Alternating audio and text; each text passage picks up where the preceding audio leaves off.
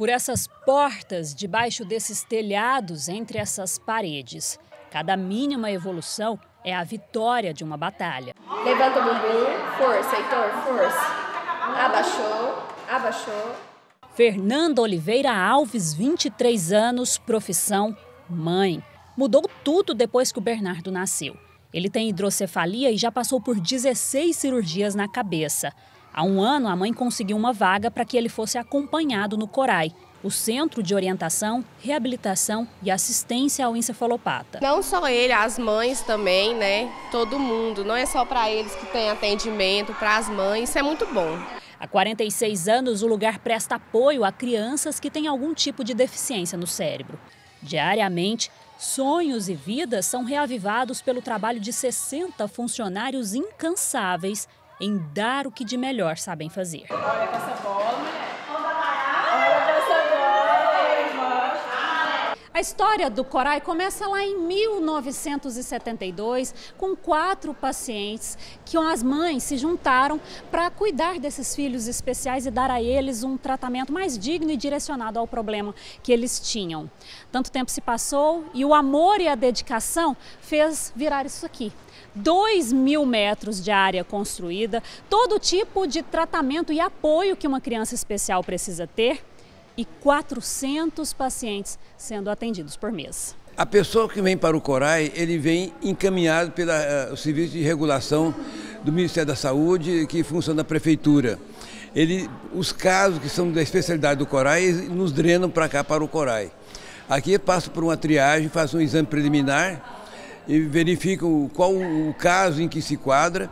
E aí dá, a gente, depois é feita uma avaliação pela equipe técnica é, multidisciplinar.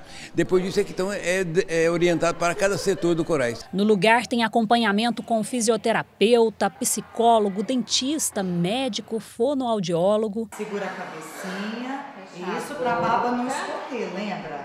A cabeça reta,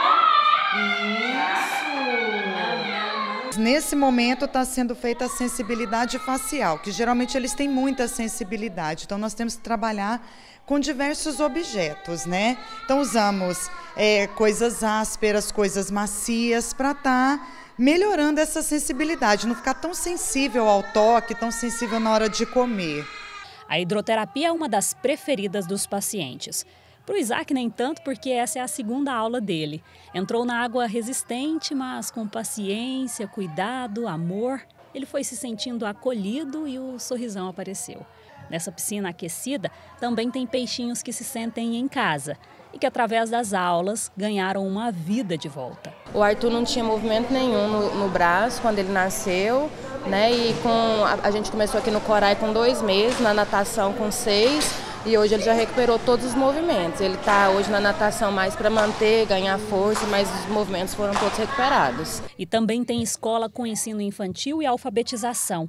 Por sala são no máximo sete alunos e o ensino é direcionado. A limitação do aluno é respeitada. A gente respeita o ritmo e o tempo de cada criança.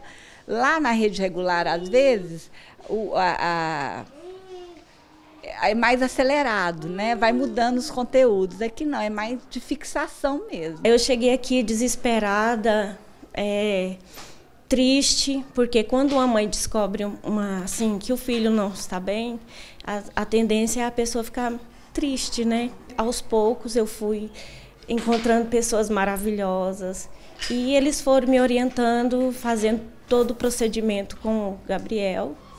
E hoje ele está bem.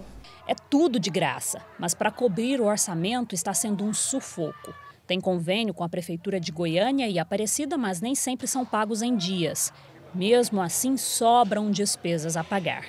Todo mês eles finalizam o caixa com pelo menos 50 mil reais negativos.